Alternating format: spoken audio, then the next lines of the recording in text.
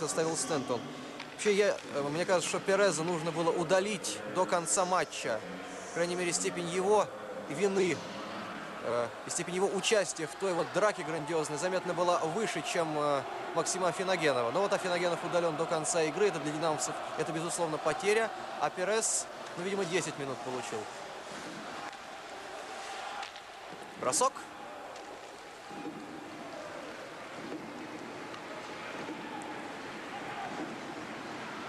Это Золотов. Золотов играет в паре с Журиком. И кто здесь еще? Карцев. Карцев! Рядом со штангой звено Карцева. 14 Александр, 35 Денис Карцев, 12 Александр Кувалдин. Ну, Кувалдин начинал матч вот в этом звене со своими привычными, в общем-то, партнерами. Ну, посмотрим. Возможно, что... Ой-ой-ой, едва шайбу. Чуть динамовцы сами в свои ворота не завели. Э, видимо, Кувалдину придется выходить в двух сменах. Харитонов набрал высокую скорость, вошел в зону. Золотов. Бросать не дают.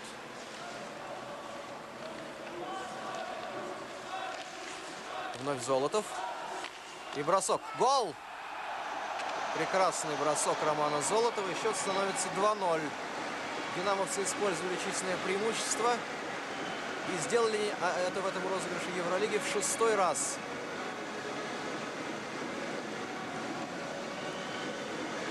Шайба будет записана на счет Романа Золотова.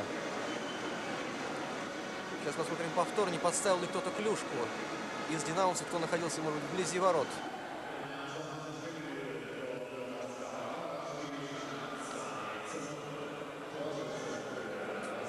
Нет, шайба записана на счет Романа Золотова. Бросок от синей линии динамовского защитника. Посмотрим его показатели. Это вообще первое очко Романа Золотова в этом розыгрыше Евролиги. До матча с Адлером он не забрасывал шайб и не был отмечен как ассистент ни разу. Итак, что очень важно, что отрадно динамовцы в начале и первого, и второго периодов добились успеха. Ну, а есть такая традиция, такая примета. Если динамовцы на первых минутах встречи забивают, они, как правило, доводят матчи до победы. Будем надеяться, эта примета сработает и сегодня. 2-0, третья минута идет второго периода. И в атаке хоккеисты Адлера. Звено Бозона. Седьмой Лукес. Тот самый защитник, который вынужден играть в нападении. 12-й Бозон и 19-й Рон Паско.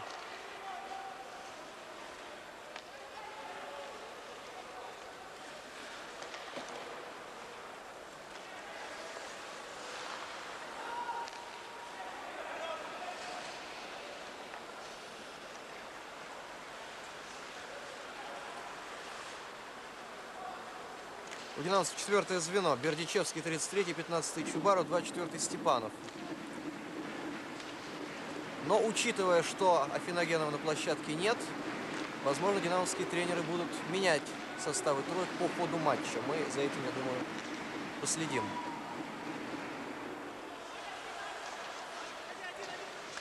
Ореховский.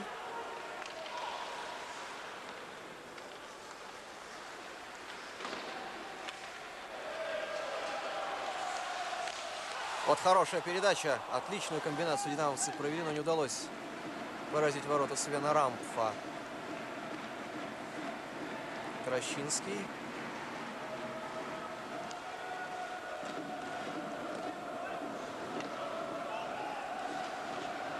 Как-то нерасторопно сыграл голкипер германского клуба. Эдуард Бакалюжный не перехватил шайбу, но шайба остается в зоне германской команды.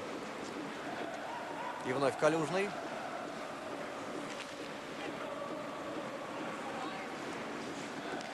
Александр Сериков там вел борьбу с Калюжным. 21-й Майкл Хадсон, 11-й Дэйв Томлинсон, 24-й Александр Сериков. Вот Сериков сейчас шайбы. Это тройка Адлера. Бросок? Нет. Не стал бросать. А вот передача здесь, здесь никого из германских хоккеистов не было. И Калюжный выбросил шайбу из зоны. Матч проходит во Дворце спорта Шпортфорум Хохен-Шонхаузен. Вмещает около 6 тысяч зрителей. Это арена. Ну, не очень много. Трибуны не заполнены. Не заполнены. Так, а будет удаление. удаление в составе клуба «Адлер». Но те зрители, которые присутствуют на трибуну, создают изрядную шумовую поддержку и хоккеистам Адлера, и что приятно, и динамовцам. Приехали болельщики, фанаты московского «Динамо», и вы, наверное, слышите их голоса. Грубо сыграл Стефан Рише, защитник, против Кувалдина, который поднимается и, будем надеяться, сможет продолжить этот матч. Вот здесь в углу площадки борьба.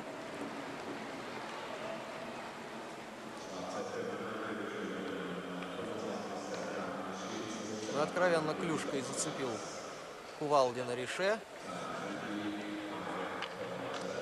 Чувствуя, что уступают хоккеисты Адлера динамовцам в индивидуальном мастерстве, они не стесняются при выборе любых средств для нейтрализации динамовцев, э, для нейтрализации динамовских атак. Подчас действуют очень грубо, причем стараются делать так, чтобы арбитры не замечали. Я думаю, динамовцам не стоит поддаваться на провокации, ввязываться в эти потасовки, в эти стычки, что, как мне кажется, будет на руку хоккеистам Адлера. Хотя и в обиду себя тоже давать нельзя. Итак, динамовцы вновь получили честное преимущество. Кувалдин остался на площадке, значит, все в порядке.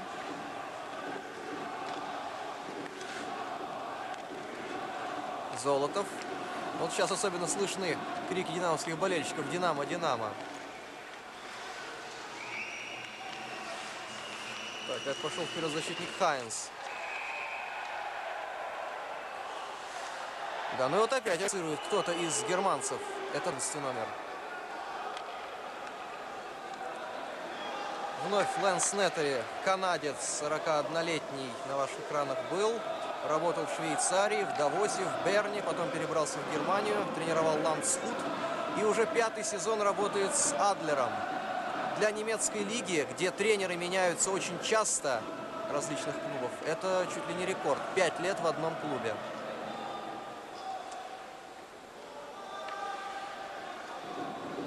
Но пока мы смотрим повтор одной из атак. Напомню регламент. Итак, накануне стартовали полуфинальные турниры в двух городах. В Хельсинки клуб Ильвес победил Хивк 5-4. И сегодня Ильвес встречался с Магнитогорским Металлургом. Репортаж о третьем периоде этого матча по окончании репортажа о матче Динамо Адлер вы увидите. Ну и в Берлине играют две, два германских клуба Адлер из Мангейма и хозяин этих соревнований Айсберен и московская Динамо в первом матче 22 числа. Айсберен выиграл у Адлера 5-3. Поэтому скажем о том, что если сегодня динамовцы выигрывают, то они досрочно выходят в финальный турнир четырех. Поскольку выходит из каждой группы по две команды, то динамовцы становятся финалистами. И завтра они играют с Айсбереном. Этот будет матч просто за первое место в группе. Но до победы еще далеко, хотя счет 2-0. Динамовцы имеют численное преимущество и смотрятся явно предпочтительнее своих соперников. Сейчас у динамовцев первое звено. Марков, Петренко. Вот передача и не попадает Марков по шайбе.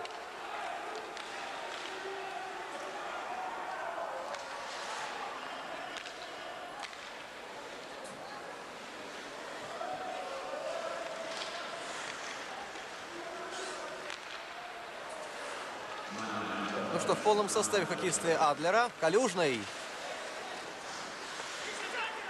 Михаил Иванов. Вот обычно с Ивановым и Беловым играет Валерий Черный, центральный нападающий. Но, как я уже сказал, сегодня он и, и сегодня, и завтра не сможет выйти на площадку. Он травмирован. Но будем надеяться, если Динамовцы выйдут в финал четырех к этому турниру, который состоится 13-14 февраля. Черный сможет восстановиться. Итак, завтра динамовцы играют с Айсбереном, а Магнитогорский Металлург с Хивком. Наши команды встречаются с хозяевами полуфинальных турниров. И в 23.45 24 января канал РТ планирует вам показать эти матчи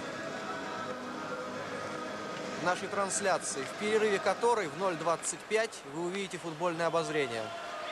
И анонсируем также завтрашний футбольный матч в 14.55. В прямом эфире канал УРТ будет транслировать матч «Динамовцев» в Тбилиси со «Спартаком» в рамках седьмого международного футбольного турнира на Кубок чемпионов Содружества. Прямой репортаж, два тайма, матч «Спартак-Динамо» Тбилиси. Но это будет 24-го, а пока, пока мы смотрим второй период матча «Динамо Адлер» 2-0. Рамп в игре, Свен Рамп, 27-летний голкипер германской команды. Калюжный, по-моему, атаковал ворота. Дац, центральный нападающий, Алексей Калюжный. Вот динамовских болельщиков нам могли бы показать, но упорно не показывают. Показывают болельщиков Адлера. Карц на точке вбрасывания.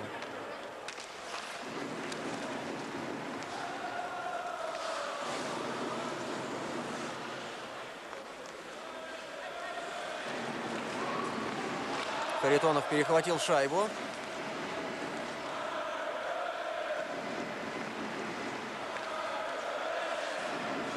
Томлинсон. Как свободно вошел в зону. Ну и вот, пожалуйста.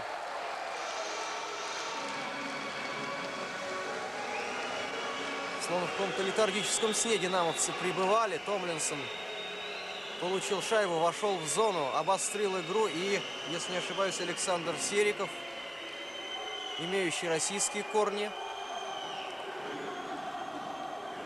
Вот он и забросил, по-моему, эту шайбу. Да, Томлинсон бросает, Мухаметов отбивает. Никого нет рядом из динамовцев. Есть только Сериков, который и забрасывает эту шайбу. Но ну, германское гражданство у Серикова, 23, 23-летнего нападающего, игрока сборной Германии, участника двух чемпионатов мира и Олимпийских игр. Несмотря на молодость, довольно опытный мастер. Вот так счет у нас изменился. Это 38 номер Филипп Шумахер.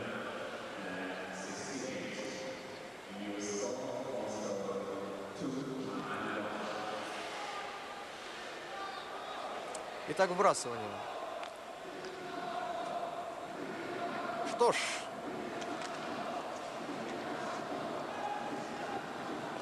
прежде чем будет выявлен победитель третьего розыгрыша Евролиги, предстоит сыграть еще шесть матчей матче два полуфинальных. Э, Айсберен, Динамо, Металлург, Магнитогорск, Хив. И четыре матча в финале четырех. Победитель вот этого полуфинального раунда, который проходит в Берлине, сыграет 13 февраля в финале четырех со второй командой, э, со второй командой в Хельсинки. Той командой, которая займет второе, второе место в Хельсинки. И наоборот, победитель турнира в Хельсинки в полуфинале этого финала четырех 13 сыграет со второй командой берлинского турнира. Бердичевский, как легко он убежал. Одного его тут оставили германские защитники. Но не удалось переиграть Рамфа.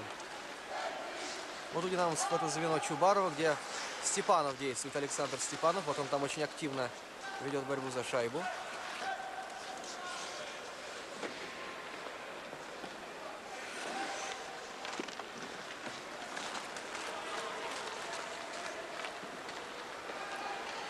Хайнс.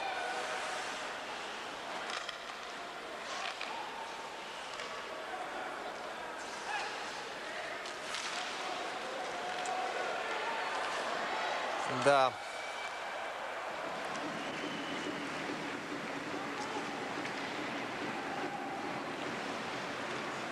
Ни на секунду нельзя расслабляться, выключаться из борьбы динамовцам. Могут возникнуть вот такие острые эпизоды.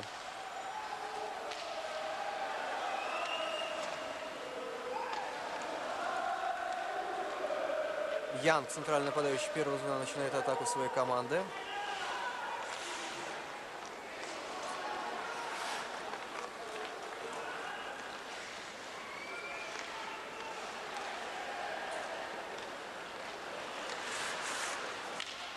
Прокопьев. И, увы, потерял равновесие, упал. И все на этом закончилось. Да, представители только трех стран продолжают борьбу в Евролиге. Финляндии, Германии, России. Все эти страны представлены двумя командами. Но можно много говорить о жеребьевке, о ее плюсах и минусах. Я считаю, что она не слишком благоприятна для наших команд. Объясню почему. Ну, два обстоятельства. Во-первых, исходя из этого жеребия, уже точно Германия и Финляндия в финале четырех будут представлены одной командой. Ибо по две лучших команды из каждой группы выходят в финал. Ясно, что одной из них будет германская команда, ибо здесь играют два германских клуба, и одна финская, ибо в Хельсинки играют два финских клуба. Россия же такого права не имеет, и нужно нашим командам еще это право завоевать. Ну и второе обстоятельство. В последний день этих полуфиналов наши клубы играют с хозяевами полуфиналов, которые будут отдыхать. Сегодня отдыхают и Айсберен, и Хивк. Наши же клубы проводят матчи. То есть времени для восстановления сил у наших будет меньше. Что в условиях таких скоротечных турниров, когда любая мелочь э, способна решить исход встречи, немаловажно. Опасно атаковал Калюжный. Он сегодня выделяется у динамовцев. Но будем надеяться, что вот эти все минусы жребия, о которых я сказал, не повлияют на выступление наших команд и смогут они выйти в финал четырех. Тем более, что есть такая информация, и, наверное, любители спорта об этом знают. Вполне возможный в случае попадания динамовцев в финал четырех он состоится в Москве. Хорошая атака сейчас удалась динамовцам. Смотрим повтор, бросок Калюжного. И Свен Рамф в игре.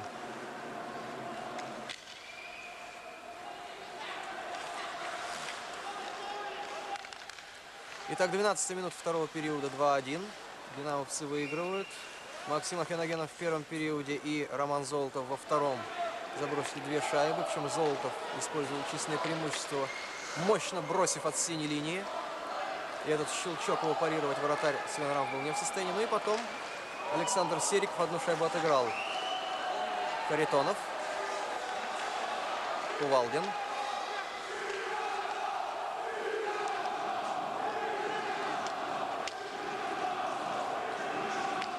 Вновь Харитонов. Очень хорошо он держит шайбу. Очень сложно у Харитонова отобрать шайбу без нарушения правил. Не случайно так часто на нем нарушают правила соперники. Именно атакуя Александра Харитонова. Вышла-вышла шайба из зоны. Динамовцам нужно покинуть зону защиты германской команды. Ну еще, если говорить о регламенте этих двух полуфиналов, по истечении основного времени никакого дополнительного времени не будет. Даже если основное время завершится в ничью, но будут пробиваться штрафные броски. И мы, видимо, тоже увидим штрафные броски вот после матча «Динамо-Адлер». Зачем они нужны? Дело в том, что при равенстве очков будет учитываться, какая команда лучше исполнила эти штрафные броски, хоккейные пенальти. Пенни, Джексон Пенни удаляется. Лучший бомбардир Адлера в Евролиге. И вообще один из лучших снайперов турнира. Накануне, еще раз скажем, Адлер проиграл Айсберну 3-5. Вот Пенни забросил одну из шайку проигравших и сделал к тому же точную передачу. Ну вот момент, когда Пенни нарушал правила, вы видели. Это вот еще одна атака кистов Адлер, когда Стивен сделал передачу там кому-то из партнеров, но шайба прошла намного выше ворот. Да, Джексон Пенни, 29-летний канадец, удален. Пока у него по системе гол плюс пас в Евролиге 13 очков, 8 шайб и 5 передач.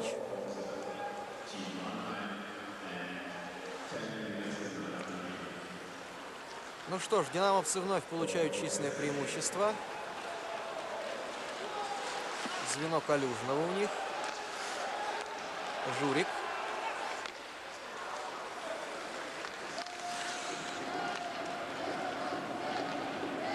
Журик сейчас, по-моему, с играет. Хотя начинали они матч в других сочетаниях.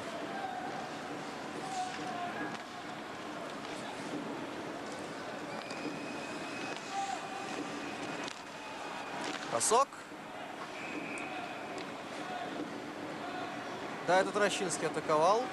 Минута 20 до выхода до выхода Пенни. И вновь какая-то стычка между Журиком и Стивенсом.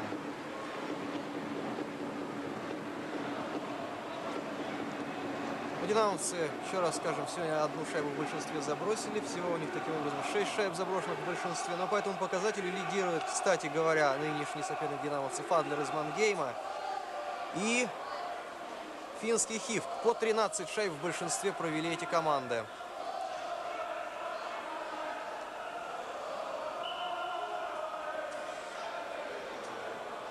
Да, тут вопрос о том, как не просто остановить Харитонова, когда тот получает шайбу. Сейчас Шумахер пытался это сделать. Так, вот смотрю, что сейчас э, с Прокопьевым и Петренко вышел Бердичевский. И Хованов Марков в обороне.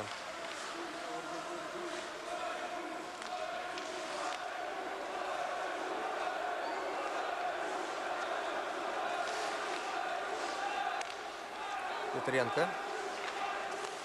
Хованов упускает, обидно, упускает шайбу в среднюю зону.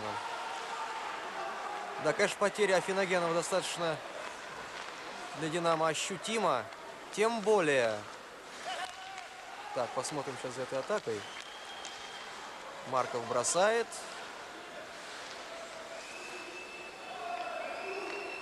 Хованов. И вновь не лучшим образом динамовцы распределились шайбой.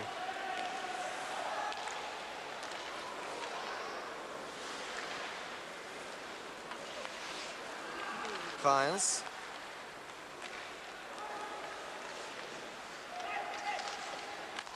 Бросок. Сходу атаковал кто-то из германских хоккеистов. Вот атака у динамовцев может получиться неплохая. Провал в обороне у Мангейма, у Адлера, простите. Так вот, по поводу Афиногенова. Это уже не первое его удаление до конца матча в Евролиге. Помнится, в матче с Валеренгой норвежской он тоже подрался с кем-то из соперников. Вышел победителем в той схватке, но это была, так сказать, пиррова победа, потому что судьи отправили Максима отдыхать до конца встречи.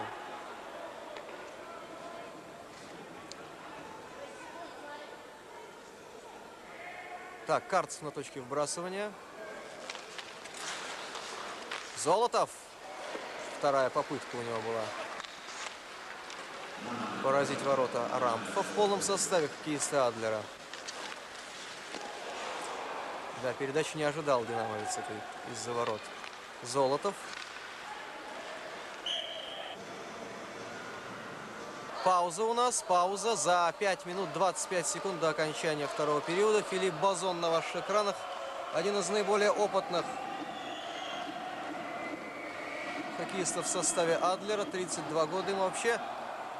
В Адлере настоящий интернационал. Здесь всего лишь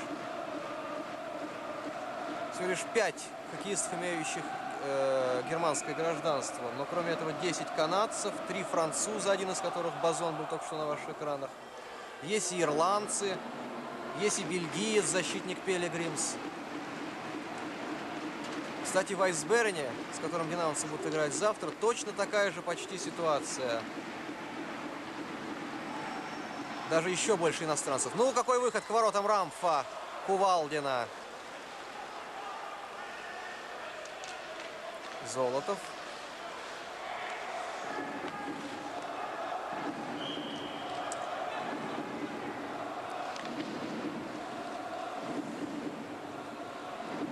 Да, настоящее засилие сейчас иностранцев в германских клубах. Не случайно поэтому, что сборная Германии так неудачно играет. И впервые за последние 23 года сборная Германии не будет участвовать в чемпионате мира в группе А. Потому что на ведущих ролях в германских клубах легионеры, иностранцы, а местные же хоккеисты либо вообще не выходят на лед, либо появляются в третьем-четвертом звеньях, имеют мало игровой практики. Это, естественно, не способствует повышению мастерства игроков. Еще раз смотрим проход к воротам Рамфа Кувалдина. И более того, в германской лиге хоккейной всего лишь 4% местных игроков. 4%. Остальные иностранцы, прежде всего канадцы.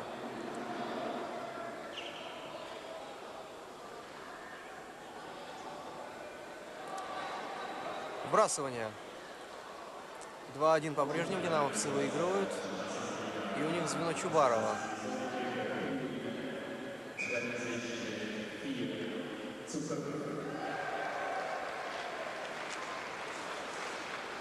Батыршин. Батыршин некоторое время не играл, был травмирован, сейчас вновь появился на льду. Он вместе с Ореховским действует.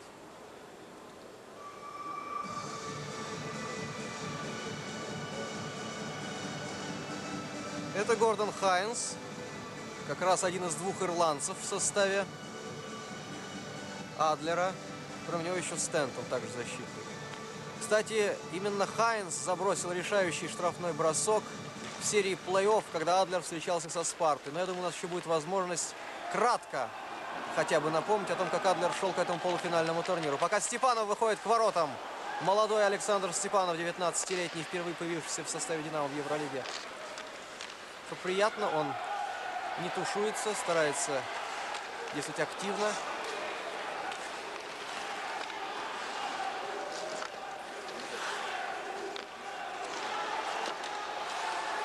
Ну где шайба? Шайба все-таки у Свена Рамфа. И опять, опять здесь стычка могла произойти. Но Бердичевский-то может за себя постоять. В чемпионате российском не раз он это уже демонстрировал. Выходя победителем из потасовок самых разнообразных. Свен Рамф на ваших экранах. Но в этом розыгрыше Евролиги чаще ворота защищал Дэнни Лоренс, канадец. И сегодня он в запасе. Рамп проводит сегодня третью игру всего лишь в Евролиге. Пропустил он все в этих играх две шайбы. Вот до сегодняшнего матча. Три шайбы. В двух матчах три шайбы. Вот сегодня еще две. Но, в общем, показатель совсем неплохой. Калюжный. Трощинский.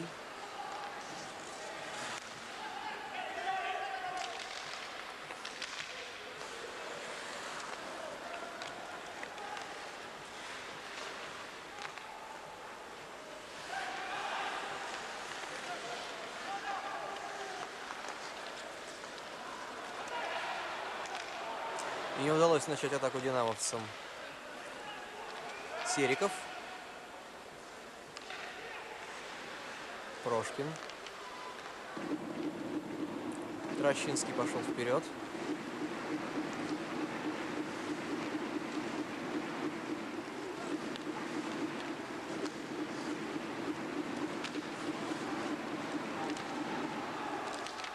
Ну!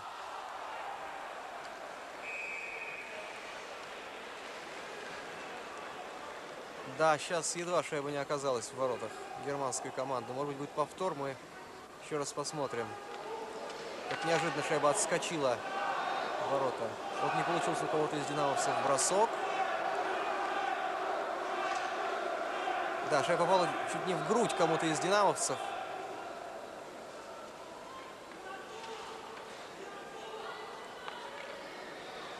И пыталась так заползти в сетку. Да, это Валерий Белов был. И в последний момент там защитник Пелегримс оказался на линии ворот и выручил команду.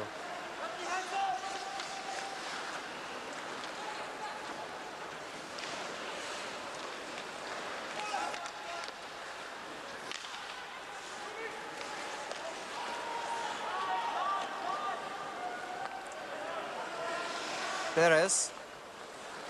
Еще один француз в составе Адлера. Тот самый Перес, который принял активное участие в потасовке. Но судьи его решили не удалять до конца матча. Хотя Перес вполне того заслуживает. Опасно. Вот опять проход. Это, между прочим, защитник Стефан Рише был. Как смело он пошел вперед. Петренко. А это уже динамовский защитник Марков атакует ворота Рамфа.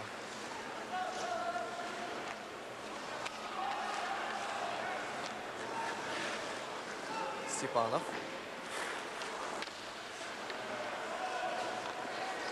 Кстати, продолжает контролировать шайбу молодой динамовский форвард. Очень сложно, конечно, Александру тут выбраться из угла площадки. Кто-то помочь должен. Помог Петренко и другие партнеры. Небольшая у нас вновь пауза. Так напомним, динамовцы выступали на предварительном этапе Евролиги в группе С. Выиграли все матчи за исключением одного. В серии штрафных бросков уступили клубу Фельдкер австрийскому. Заняли в своей группе первое место. И дальше провели два незабываемых матча с клубом Лексант из Швеции. 1-2 проиграли динамовцы в гостях. И дома в острейшей борьбе в дополнительное время победили 3-1. Испытав на себе все прелести, в кавычках, этой новой формулы, согласно которой не считалась разница шайб при выявлении победителя в этом раунде плей-офф, а считались набранные очки. Динамовцам пришлось выигрывать как бы два матча у Лександа. В основное время, что динамовцы и сделали, победив 2-1. И потом в овертайме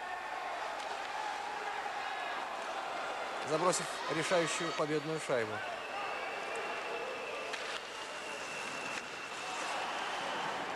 Итак, подходит к концу второй период. 2-1 динамовцы выигрывают. В первом периоде отличился Максим Афиногенов. Нападающий первого динамовского звена, игрок сборной России и чемпион мира среди молодежных команд. Зинжула Белелединов на ваших экранах главный тренер динамовской команды. Во втором периоде Роман Золотов реализовал численное преимущество. Счет стал 2-0. Ну и потом, потом Александр Сериков, которому ассистировал Дэйв Томлинсон, одну шайбу отыграл.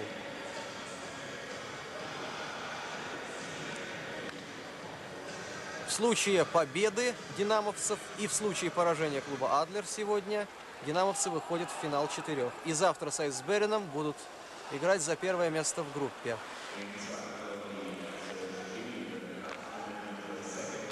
Но до победы еще довольно далеко. Напомним, Айсберен накануне обыграл Адлер со счетом 5-3. Все время вели хоккеисты берлинского клуба Айсберен в счете и что-то закономерно одержали победу, как многие специалисты и предполагали. 36 секунд до окончания второго периода. Это бельгиец Пелегримс, защитник. Раньше во Франции выступал за Брест.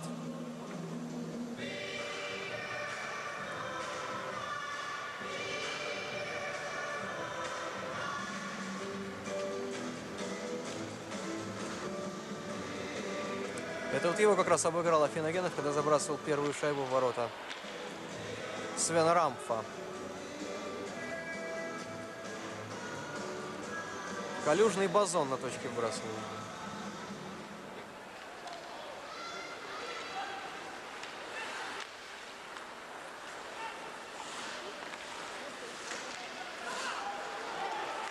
Бросок в ближний угол. Рамп. Рамп в игре.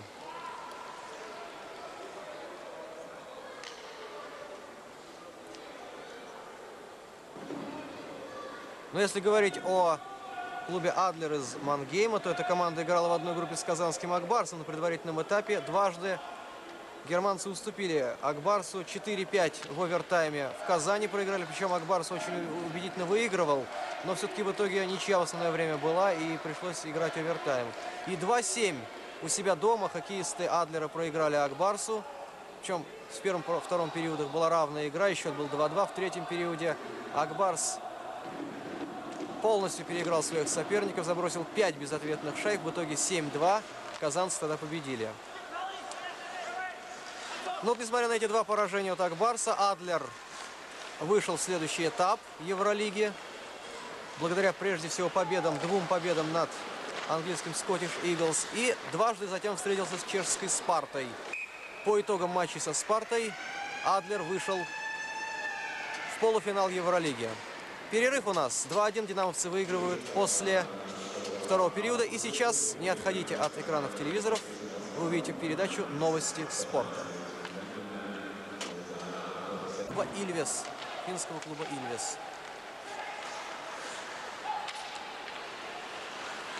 Янг.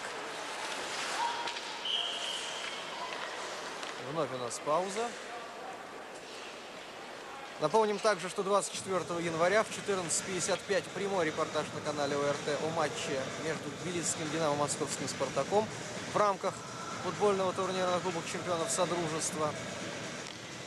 А в 23.45, тоже 24 числа, также хоккей, Евролига. Мы планируем вам показать трансляцию, которая будет в себя включать два матча. «Динамо» Айсберен и «Металлург Магнитогорск» Хивк. Наши клубы в последний день полуфинальных турниров играют с хозяевами этих самых полуфиналов. Так, Иванов у динамовцев, Белов и Калюжный, видимо. Да, звено Калюжного у динамовцев.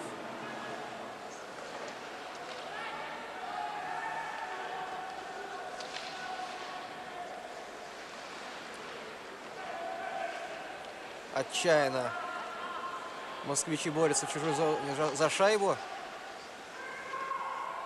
Ну, кто-нибудь поможет там Михаилу Иванову?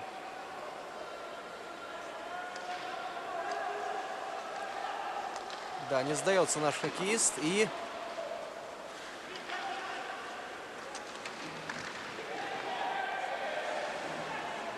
И ценой больших очень усилий германцы выбросили шайбу из своей зоны.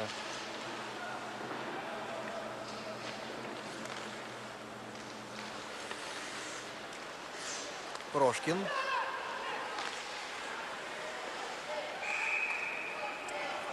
И вбрасывание. Виталий Прошкин на ваших экранах, динамовский защитник.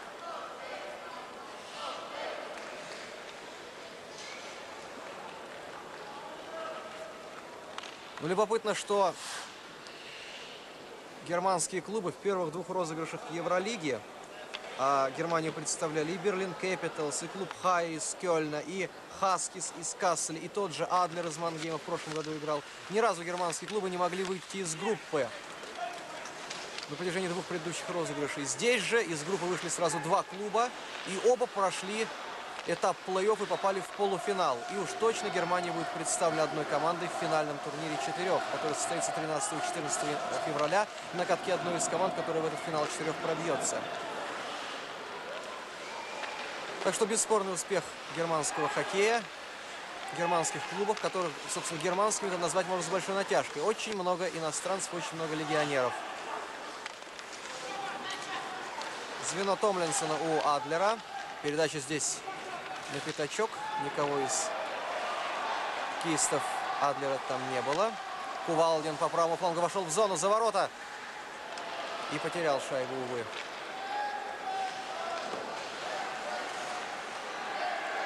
Но новая атака уже. Бросок. Кувалдин, по-моему, атаковал.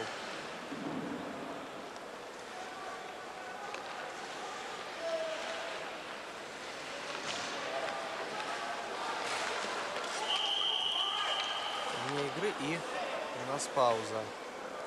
Это Бозон. Или Бозон, француз. Да, Адлер Прежде чем выйти в полуфинал, дважды встречался с пражской «Спартой». Фаворитами считались чешские хоккеисты. Но в первой встрече у себя дома в Мангейме Адлер выиграл 6-4. Причем 5 из 6 шайб хоккеисты Адлер забросили в численном большинстве. В ответной встрече чехи довольно легко победили. 10-4. Но при этой формуле разница шайб, естественно, не учитывалась. Так что пришлось играть овертайм и пробивать штрафные броски. Хоккеисты Адлера прекрасно себя проявили. Они по существу сознательно отдали инициативу чехам вот в основное время матча. Еще раз скажем, крупно проиграли 4-10, зато с новыми силами вышли на овертайм, не позволили чехам забить, ну и в серии штрафных бросков победили. Победили более мастеровитого, более сильного соперника. Это, в общем-то, в определенном смысле сенсация. Выход Адлера в полуфинальный турнир Евролиги. Пока 1-2. Германцы проигрывают. Бердичевский. Чубаров.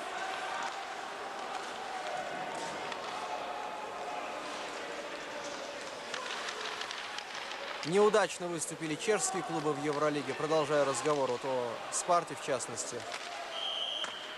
Но это связано прежде всего с тем, что ведущие чешские команды, прежде всего клуб Словнафт, который раньше назывался Петров Сетин, а это чемпион Чехии четырех последних лет. а также клуб Туржинец, вице-чемпион. Еще несколько клубов отказались по финансовым соображениям играть в Евролиге. Для клубов чешских это невыгодно.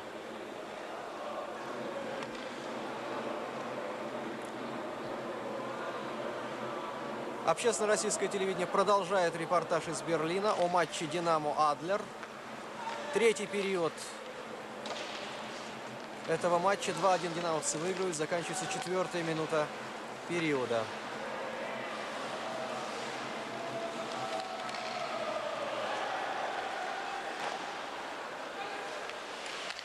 Хованов. Кувалдин.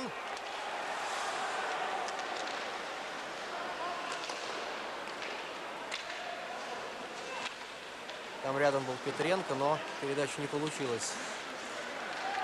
Сейчас опять Кувалдин в первом звене вместе с э, Прокопьем и Петренко заменяет удаленного до конца матча Максима Афиногенова, автора первой заброшенной шайбы в ворота Рамфа. Бердичевский выходил в первом звене.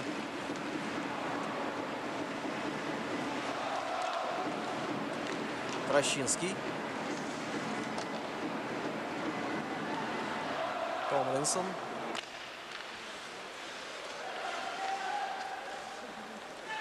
Прошкин.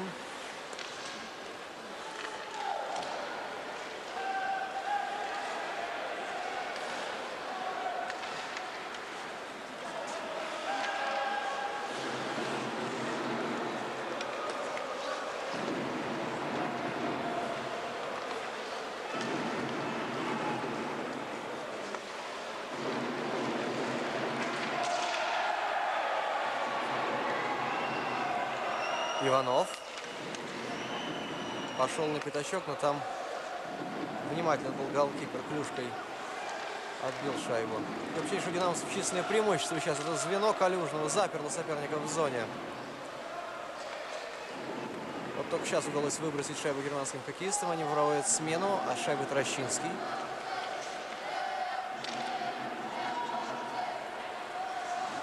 Рише.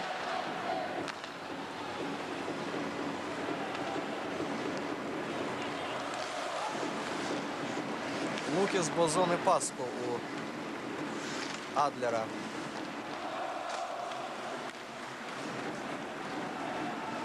Ну, сейчас Лукис на месте защитника, вот он седьмой номер. И упустил Кувалдина, который выходит к воротам и, и не забивает. Великолепная возможность имел динамовский нападающий, но, увы.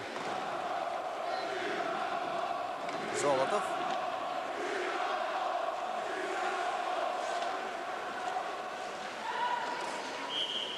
У нас пауза. Несколько слов о клубе «Адлер». Клуб довольно давно основан, в 1938 году. Однако с 1994 года статус «Адлер» изменился. Вот еще раз смотрим проход Кувалдина к воротам. Последний момент Рамп спас положение. Кто-то пытался добить шайбу. Клуб был образован более 60 лет назад, но в 1994 году можно говорить о втором рождении клуба. Клуб стал полностью самостоятельным, э, финансово изменился юридический статус и раньше хоккейный клуб входил в такое спортивное общество, где не только хоккей развивался, но и другие виды спорта. А вот с 94 года он отделился от этого общества, и только здесь вот в этом клубе развивается хоккей. И два последних года Адлер выиграл чемпионат Германии, чемпионат немецкой хоккейной лиги, которая была создана пять лет назад по аналогии с национальной хоккейной лигой. Вот два года подряд, в 97-98 годах, Адлер побеждал. Ореховский пошел вперед защитник. Он в паре матчей, защитник Олег Ореховский, действовал на месте нападающего. Кстати. Так что подключение к атаке, видимо, не случайно.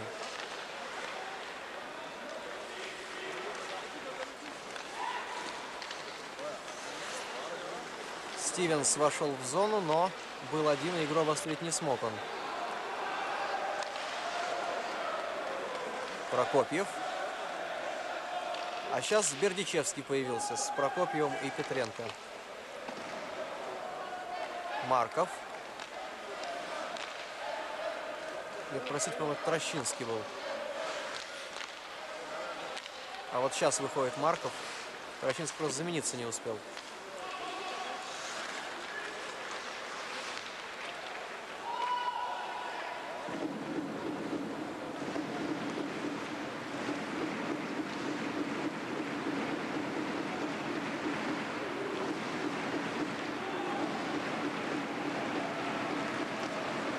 Петренко не попадает по шайбе, но продолжает контролировать ее динамовский капитан.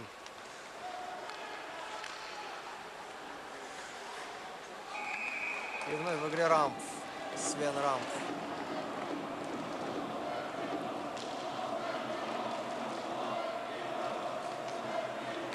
И Сергей Петренко. Ну, в Кубке чемпионов динамовцы встречались с германскими клубами, в частности Кёльном, когда еще существовал такой турнир. В Евролиге же это первый матч динамовцев против германского клуба. Вот, наконец, нам показали динамовских болельщиков.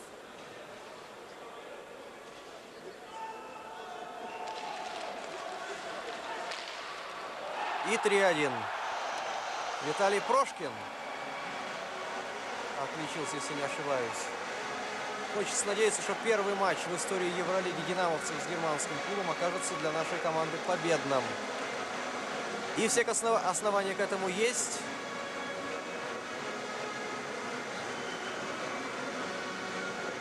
Виталий Прошкин третью шайбу забрасывает. Броском, так же как и Золото под синей линией. Бросок вверхом. Рамп ничего здесь поделать не смог.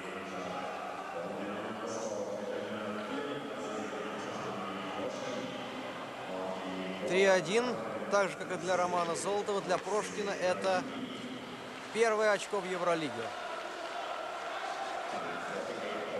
Редко он забивает. Но очень важная шайба. Очень важная шайба в середине третьего периода. Бозон пошел вперед, центральный нападающий. Ну, вроде бы вот Адлер, да, два года подряд выиграл германские чемпионаты, но я вспоминаю матч, проброс будет, э, матч с Акбарсом, которым я уже упоминал, когда 7-2 Акбарс выиграл, выиграл очень убедительно. Не произвела германская команда какого-то серьезного впечатления. Да, агрессивная, да, старается играть жесткий силовой хоккей, да, стиль определяют канадцы, но что-то противопоставить реального Акбарсу Адлер в той встрече не смог. 2-7 дома проиграл.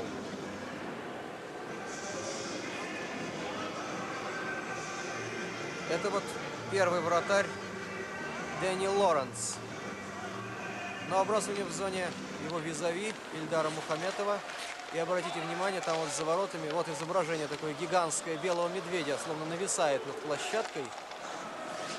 В паузе объясню, что это значит. То есть хоккеисты выходят, э, выходили на площадку. Это как словно из пасти этого медведя. Ну вот выход к воротам Мухаметова и Янгу не удалось переиграть динамовского голкипера. Упустили динамовские сейчас защитники Янга. Нельзя расслабляться, нельзя. Харитонов. Передача.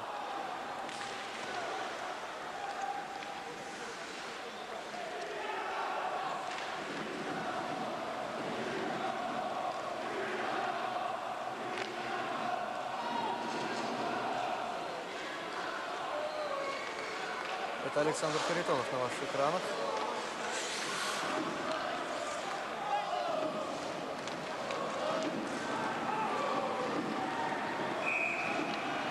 Ну и проброс будет. Лэнса Неттери вновь нам показывают. Канадца.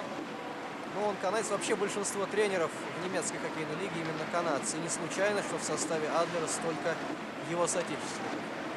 Так вот, это арена, на которой проходит полуфинал Евролиги. Домашняя арена для вот сколько российских болельщиков. Очень приятно нам это видеть. И выход к воротам Янга. Домашняя арена для Айсберена, германского клуба, с которым динамовцы играют завтра. Ну, в переводе на английский Bears, так сказать, ледовые медведи, вот так переводится название Айсберен. То есть талисман Айсберена это белый медвежонок. Ну, а талисман Адлера, который сейчас атакует ворота Мухаметова, это орел. Мы вспоминаем матч с Акбарсом. Можно сказать, что Гордичевский шайба был. В столкновении орлов, в схватке их с белыми барсами, от этих орлов только перья летели. 7-2. Напомню, Акбарс выиграл у Адлера в групповом турнире Евролиги. Выигрывает и Динамо. Не так пока убедительно, но здесь неважно с кем счетом. Главное просто выиграть. Остается 9 минут, чуть больше до окончания третьего периода. В случае победы Динамовцы досрочно выходит в финал четырех. Но для того, чтобы выиграть Евролигу, нужно сыграть еще три матча. Завтра с Айсбереном и потом две игры в финале. Сначала полуфинал 13 потом финал 14 так что до победы еще не так уж и близко. Это Хайнс с шайбой. Еще раз скажем, этот защитник, четвертый номер, забросил решающий штрафной бросок в серии со Спартой чешской. Именно Хайнс.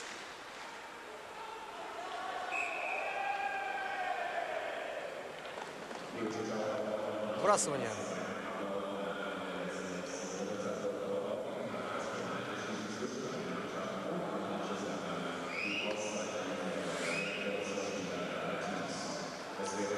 Ну, любопытно, если сравнить показатели Динамо и Адлера перед этой встречей. Каждая из команд забросила по 39 шайб, но оборона у динамовцев более надежна. Динамовцы пропустили 25, а хоккеисты Адлера 39 шайб в свои ворота.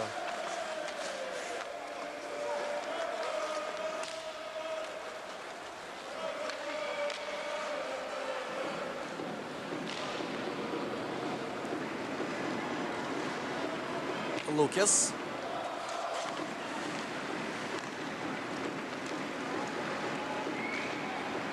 Чуть-чуть сильно на Калюжного передача была сделана Валерием Беловым.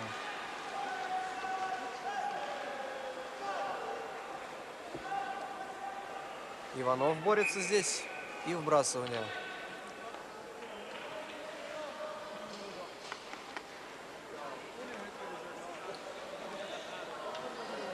Михаил Иванов.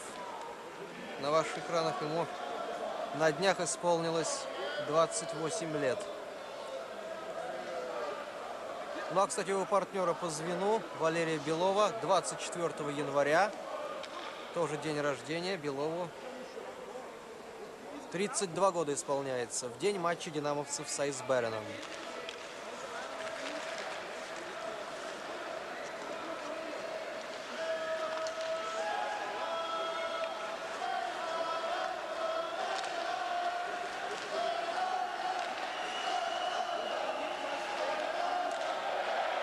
Удаление. Совершенно очевидное. Нарушили правила против Александра Кувалдина, хоккеиста германского клуба «Адлер».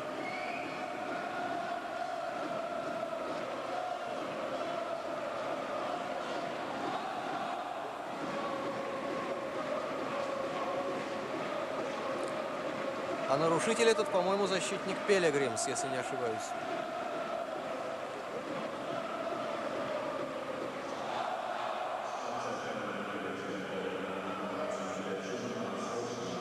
Нет, простите, это Шумахер, нападающий Филипп Шумахер. Самый молодой в составе Адлера. Вообще, германские клубы делают ставку на возрастных хоккеистов. И вот в составе Адлера, например, 11 игрокам 30 лет и за 30. А вот Шумахер самый молодой, 19 лет ему. Но он не имеет постоянного места в составе, выходит эпизодически на лед. Шумахер имеет немецкое гражданство. Один из пяти человек, имеющих немецкое гражданство в составе клуба Айсберен. Э, простите, Адлер.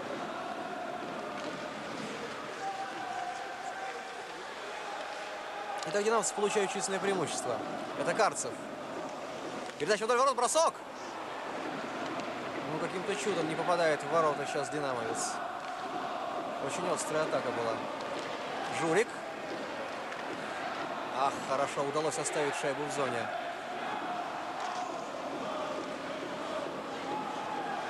Кувалдин, передача, ну, партнер, похоже, несколько не ожидал. Это Харитонов был.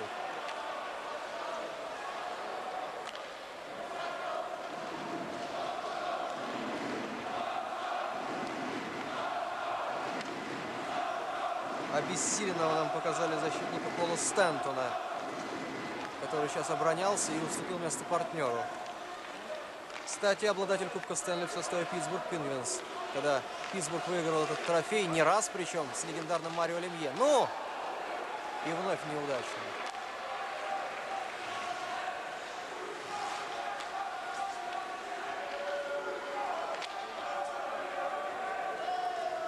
Хованов. У динамовцев вышло первое звено. Интересно посмотреть, кто с Прокопьевым и Петренко действует сейчас.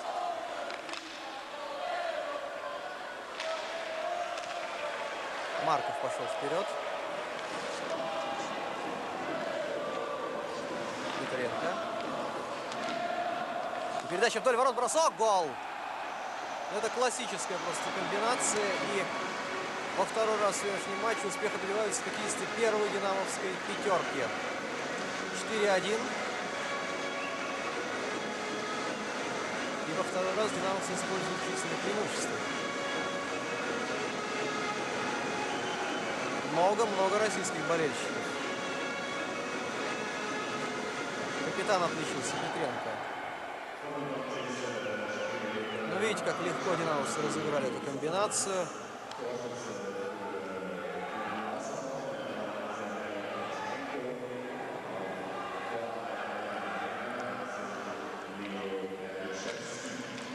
И 4-1. У Петренко это третья шайба, у него 7 передач, 10 очков, так же, как у Афиногенова. Но в числе лучших бомбардиров. Эти динамовцы в числе лучших бомбардиров Евролиги. Опасно. Ну, Калюжный не попадает в ворота. Думаю, что все ясно в этом матче. Остается чуть больше пяти минут. 4-1 динамовцы выиграют. Томлинсон идет вперед. Хорошо здесь Калюжный. Пришел на помощь защитникам.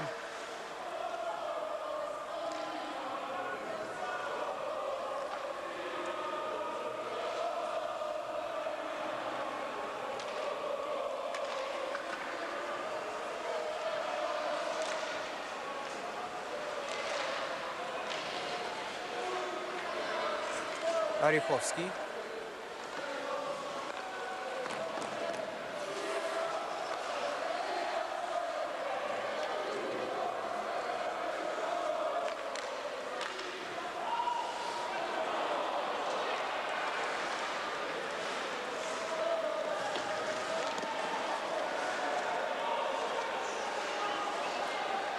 Степанов. Давно он что-то не появлялся в третьем периоде.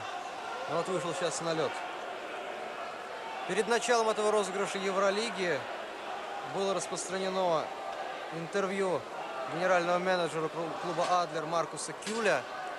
Он сказал о том, что команда перед началом этого сезона еще более укрепила свой состав по сравнению с прошлыми годами, когда, напомню, Адлер дважды побеждал в чемпионате немецком розыгрыше немецкой хоккейной лиги. И сделано это было как раз с учетом выступления команды в Евролиге. И Кюль в том же интервью сказал, что пределом мечтаний для его команды будет выход в полуфинал.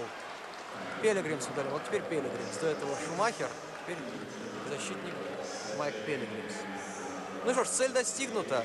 Адлер вышел из группы, потом преодолел этап плей-офф и попал в полуфинал. Но это будет уже сказать, конечная точка турнирного пути Адлера.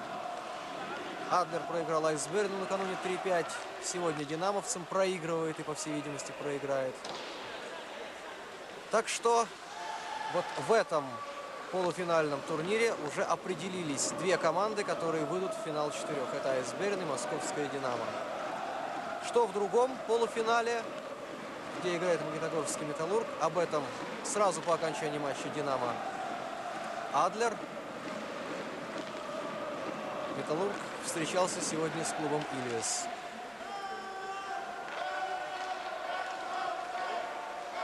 Тагинамцы вновь имеют численное преимущество. И сейчас звено Чубарова у них.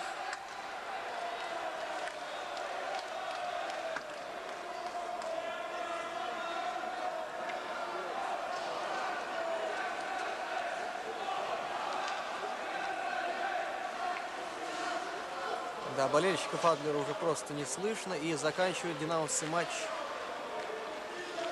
под одобрительный гул трибун, под возгласы поддержки динамовских болельщиков.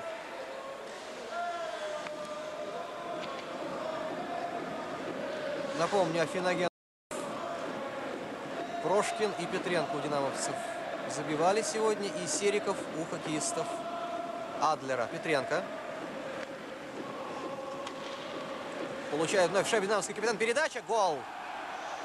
Это Кувалдин, если не ошибаюсь. Александр Кувалдин забрасывает пятую шайбу. Как удачно сегодня динамовцы используют численное преимущество. Третью шайбу проводят в большинстве.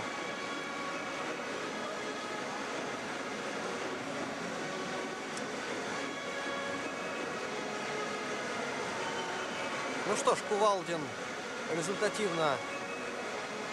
Сейчас смотрим еще повтор, как все прекрасно Петренко сделал.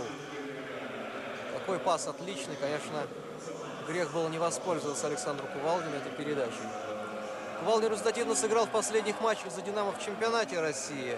Он забросил единственную шайбу, ставшую победной в тяжелейшем матче динамовцев с Ярославским «Торпедо». 1-0 динамовцы выиграли.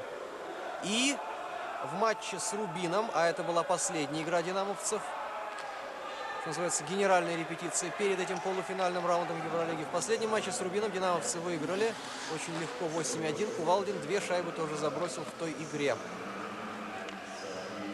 И сегодня отличился. Вот такая голевая серия динамовского хоккеиста, кандидата в сборную России. Ну что ж, 2 минуты 20 секунд до окончания этого матча. 5-1. Но все равно булиты будут пробиваться. Хотя, хотя они играли бы какую-то роль, если бы была возможность, что Динамо и Адлер наберут равное количество очков. Но это уже невозможно, и таким образом эти штрафные броски превращаются, в общем-то, в формальность. Но, согласно регламенту, они в любом случае должны пробиваться, и никуда от этого не деться.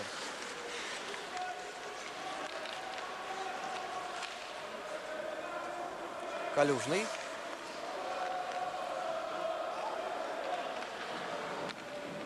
Но нельзя сказать, что э, завтрашний матч с Айсберном для динамовцев ничего не будет решать.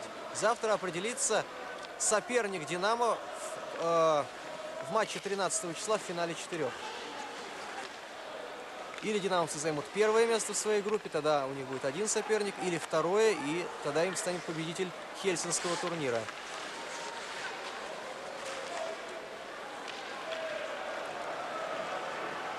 Это Кувалдин вновь. Трощинский пошел вперед. Динамовцы уже легко, как на тренировке, разыгрывают здесь шайбу, проводя самые разнообразные атаки Трощинский.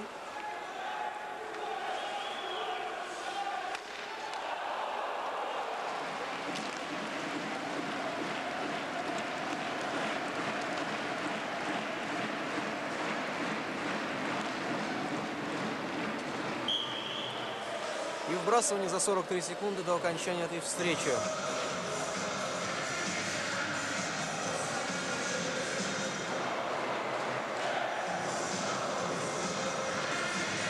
Свен Рамп. В его активе один сухой матч, что называется. В одном из матчей он не пропустил ни одной шайбы. Это было в матче с Химопетровым. Вообще редкость. Всего лишь три матча таких было в этом розыгрыше Евролиги, чтобы одна из команд сохраняла свои ворота в неприкосновенности. Вот в одном из таких матчей участвует как раз Свен Рамп.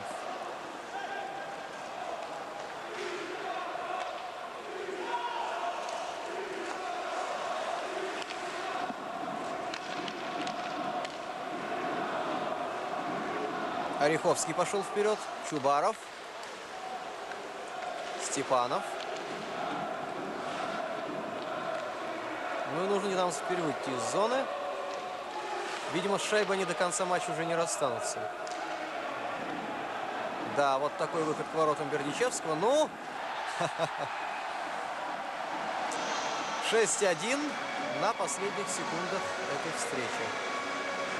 Ну, как и в матче с Акбарсом, тогда, когда в последнем периоде, в третьем, немцы пропустили 5 шайб, так и сегодня они в заключительных 20 минут просто развалились. 4 шайбы пропустили. И вот последнюю забросил Лев Бердичевский, опытнейший нападающий московского «Динамо».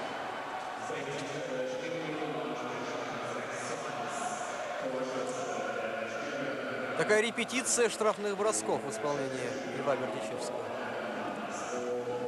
Вышел к воротам. И 6-1 на исходе матча. Итак, динамовцы одержали победу над германским клубом «Адлер» из Мангейма.